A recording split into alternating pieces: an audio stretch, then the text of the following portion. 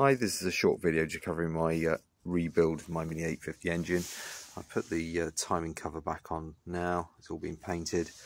Um, put the fuel pump back on, uh, flipped the engine over the right way and reconnected um, the uh, gearbox, the bolts all along there and on the other side.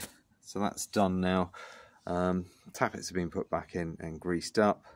Um, repainted the covers new gaskets on there and also uh, new bolts and gaskets on there like a rubber seal had perished on each one so they've all been replaced. And there cylinder head is now back on. Uh, I've put a new copper gasket on there. You can just see the edge of it along there. So the head gasket's in place. Um, I've popped the push rods back in. Um, all of these have been loosened off so there's no interference uh, and I'll adjust those uh, in my next video.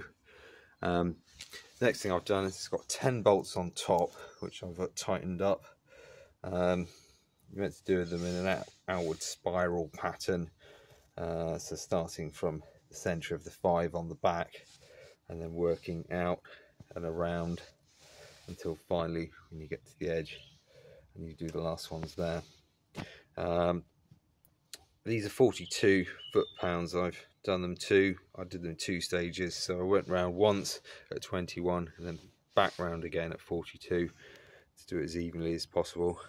Um, and the next stage you'll be doing um, adjusting tappets on there and um, moving on to uh, putting the other ancillary bits on. Hope this helps. Thanks. Bye